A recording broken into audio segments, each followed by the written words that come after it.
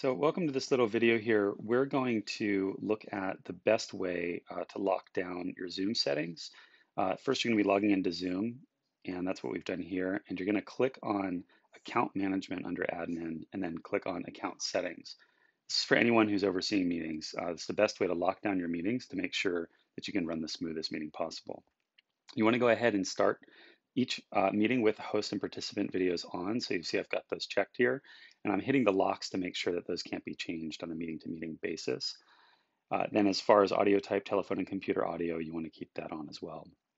Join before host, um, this is really up to you. I like to keep it off. Uh, what this does if I keep it off is uh, it makes sure that no one can come into the meeting without uh, the host being there. They get a screen that says meeting will start soon. If you turn it on before, people can come in and start fellowshipping, but it can also open the meeting up to for anyone to access at any time. So I like to keep that locked down and have my hosts come in, you know, 15 minutes before the meeting starts to kind of open it up uh, for fellowship and then close it down at the end. Personal meeting ID, um, that is something uh, that we don't really need for this purpose here. I just keep it off.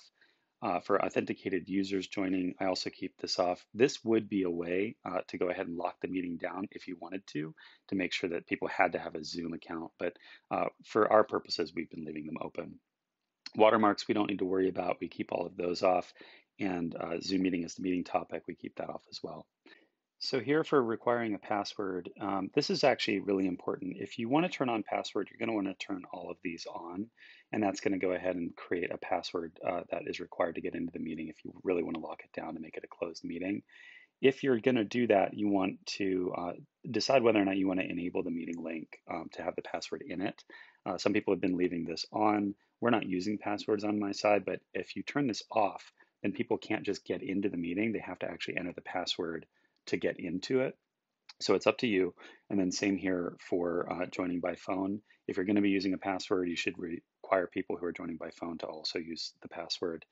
And then probably want to turn this off, uh, meeting, you know, not having to use the password if joining the meeting from a meeting list. Um, this is an internal Zoom list, but just to be safe, if you're using the password, go ahead and turn that off. Uh, and then this one is super important mute participants upon entry. Turn this one on, lock it down, make sure that people as they come in are muted. Most people will forget to mute, and this helps ensure that it's not just constant distraction coming in and out. The calendar integrations, Office 360, meeting reminders, um, OAuth, this stuff is related to some business functions that we don't really use for our meetings. It would be best to turn on encryption here. On the chat side, uh, we like to leave this on, but we like to prevent participants from saving the chat. This is really a, a thing to preserve uh, anonymity. So you can go ahead and leave it on. Uh, that way people can conversate and can exchange information, but by putting on uh, the one-on-one -on -one chat uh, underneath it, people can then exchange their phone numbers in one-on-one -on -one chat instead of publicly in the open chat. So by not being able to save the chat and by enabling one-on-one, -on -one, you can help preserve anonymity uh, through uh, making sure that people can't save this and, and get sensitive information. We're turning off auto-saving chats. Again, we don't want to save those at all. And for playing sound when participants join or leave, you definitely want this off. Otherwise, you're going to have a huge distraction every time someone comes in or out of the meeting. File transfers, I've noticed some people are leaving this on. I've been turning it off. Um, some people have been sharing PDFs and the, the readings and all kinds of stuff through file transfer. It's up to you. This can be used to share uh, you know, information that you may not want shared in the meeting. So I tend to keep it off for that reason. We don't need uh, to send feedback to Zoom. Adding a co-host though is super important. If you've got a moderator, you've got um, co-secretary, something like that, they can help you control the room. So we always put that on. And then polling, uh, we haven't really needed in our case, um, but you can ask a survey to the attendees if you want. We do absolutely want to make sure that the host can put attendee on hold. This is one of the only ways that you can block someone or kick someone out of the meeting if they're causing a disturbance. Uh, we've had to do this um, with some trolls in some of the recent meetings that have come in with audio and video uh, that is, is meant to disrupt the meeting. So we're able to put them on hold, which essentially removes them from the meeting. I like to always show the meeting control toolbar. That way, whoever's moderating always has those um, active and available. And then we like to turn off uh, show Zoom windows during screen share. Screen sharing super important that that's only for the host. You don't want participants to have access to that. If you do, they can screen share at any time, and that can either be disruptive um, or offensive, uh, depending on who is sharing and what they're sharing. So we like to limit that to the host. and then we uh, lock this down so that you're not accidentally sharing your desktop if you do do a screen share. Annotation, whiteboard, remote control, we don't need these for our functionality. These are, again, more business functionalities that we don't use. But the nonverbal feedback uh, is super important. This way people can easily find the way to raise their hand and offer other things like uh, clapping and, and um, even asking someone to wrap it up. And then allowing removed participants to rejoin. You can keep this on.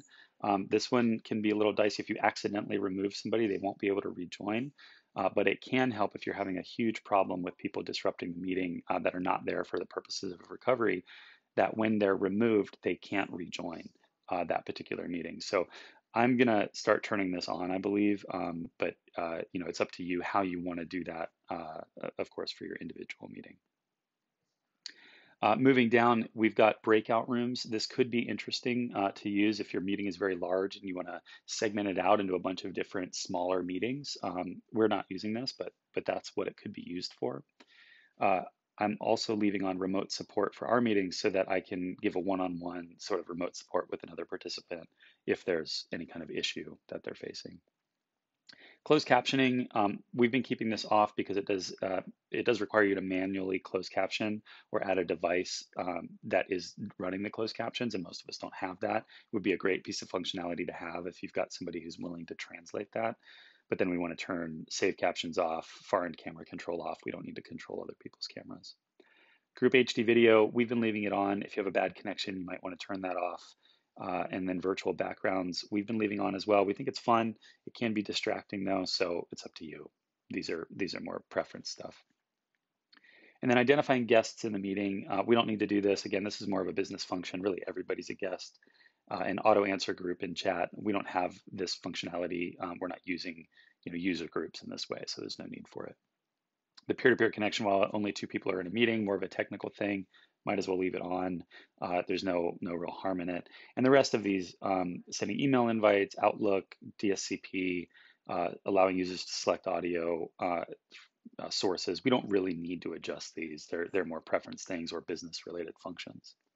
I like to turn attention tracking on. This can be helpful uh, so that you know who's actually paying attention to the meeting. So if someone's raised their hand to share, but they're not uh, actually paying attention to the meeting, it can be super disruptive if you call on them to share and then they don't realize it and they're off doing something else. So I keep this on just to be able to kind of see who's paying attention to make sure the flow of the meeting doesn't get stopped. A waiting room is also a really interesting idea, and no one can actually directly enter the meeting. Um, this can be helpful to control the flow into a meeting, especially if you've been dealing with disruptions. But again, I would leave that up to each individual meeting. Join from your browser link is super important to keep on. This uh, allows people who maybe don't have the Zoom app or first time using Zoom to access the meeting directly from their browser. So you want to turn that on. And then live streaming of meetings, uh, you want to go ahead and turn that off uh, most likely, unless you're live streaming this somewhere, but um, that sort of goes against uh, the anonymity piece.